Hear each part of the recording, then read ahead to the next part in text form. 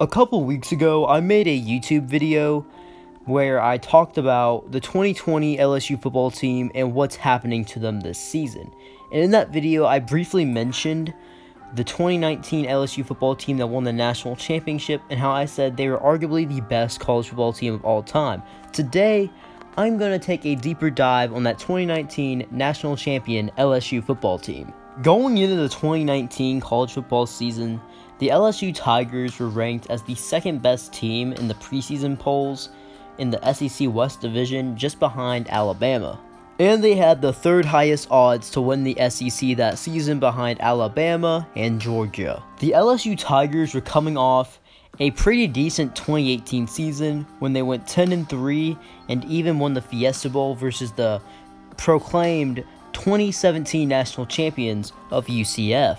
LSU was seen as a pretty good football team, but nobody really expected them to win the SEC really that much or even be in the college football playoff at that. If you would ask people going into the 2019 college football season who they thought would be in the SEC championship game, it was a pretty clear-cut answer between Alabama and Georgia. But despite all these projections where people had Alabama and Georgia in the SEC championship game and even some instances where they were both in the college football playoff, LSU would make sure to shut the critics up, which they did. I mean, they went 15 and 0. They won the SEC, they won the national championship. They had the best offense all of college football, averaging 48 points a game. And they only gave up 21.9 points a game with the 32nd best defense in all of college football, which is pretty good. It seemed like every game LSU played in the 2019 college football season, they were just unstoppable and no one could stop them at all. They were just that dominant overall and it definitely showed in the college football playoff when they won their first game 63 to 28 over a very good Oklahoma team even though they had some injuries and suspended players 63 to 28 there's no excuse for that then they go into the national championship game and beat Clemson convincingly 42 to 25. Right after this season, people would call this LSU football team one of the best college football teams of all time and even some saying it was the best. But how stacked was this LSU football team? First off, this LSU football team tied an NFL draft record in the 2020 NFL draft when they had 14 players selected from their national championship team. Not only that, there'd be six undrafted free agents that be picked up right after the draft. This LSU football team had a total of five players drafted in the first round Joe Burrow, K'Lavon Chaisson, Justin Jefferson, Patrick Queen, and Clyde Edwards Helaire. The other players selected outside the first round are Grant Delpit, Kristian Fulton, Damien Lewis, Lloyd Cushenberry, Jacob Phillips, Saahdiq Charles, Rashard Lawrence, Blake Ferguson, and Stephen Sullivan. Although that they tied the record for the most people getting drafted by a team in the NFL draft, it wasn't just that for LSU. They were also breaking records during the college football season, and it seemed like they were winning every award with their team. Joe Burrow had an amazing 2019 college football season. This dude was absolutely unstoppable, and he was the best player in all of college football.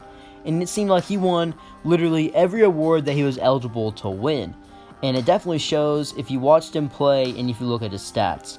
For the 2019 college football season, he completed 76% of his passes, throwing for 5,671 yards with 60 touchdowns and only 6 interceptions. And the awards he won was the Heisman Trophy, Johnny Unitas Golden Arm Award, AP National Player of the Year, Walter Camp Award, Davy O'Brien Award, Maxwell Award, and the Manning Award. Ja'Marr Chase he led the LSU Tigers in the 2019 college football season in receiving yards and receiving touchdowns, and it was to no one's surprise when he won the Biletnikoff Award that goes to the best receiver in the season for college football after he had 1,780 receiving yards, averaging 21 yards per reception and 20 touchdowns. Grant Delpit would win the Jim Thorpe Award in this season, which goes to the best defensive back in all of college football.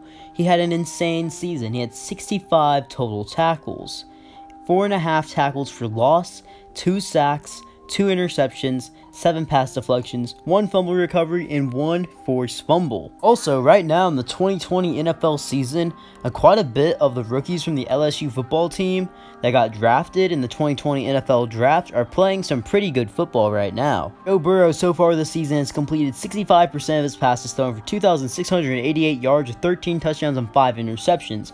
Unfortunately, his rookie season did end this past Sunday due to tearing his ACL versus the Washington football team. Justin Jefferson is also balling out in the NFL right now. He is one of the better receivers in the NFL this season, and maybe even the top rookie receiver this season, in my opinion. He doesn't get a lot of receptions. He only has 45 receptions on the season in 10 games, but he has 848 receiving yards and 4 receiving touchdowns and is a vital part of the Minnesota Vikings offense. Patrick Queen, who was drafted by the Baltimore Ravens in the end of the first round, is also eating up the NFL competition.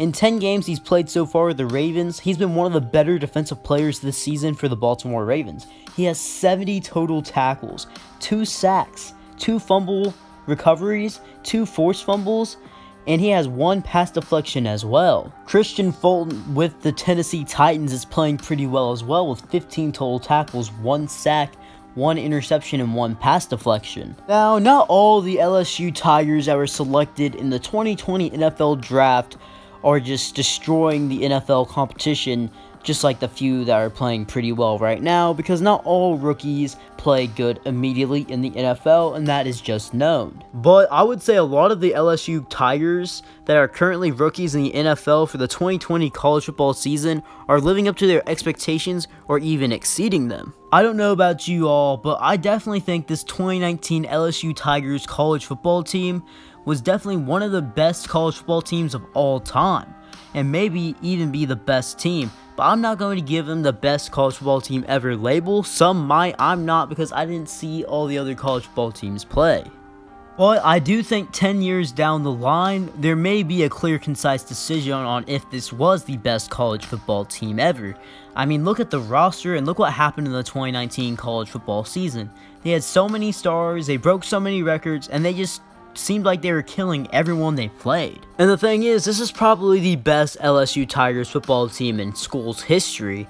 And I don't know when they're ever going to replicate a season like this in their school's history again, because the recent allegations that are against their program right now seem like they might get a very similar thing to Baylor, where basically Baylor's program didn't die, but the football team came from a very good football team to a very bad one, and they're just now starting to rebuild and come back. I mean, they had their first really good season this past season, and we saw how LSU right now is kind of falling apart this season just because of all the talent they lost. I mean, they're a pretty young team.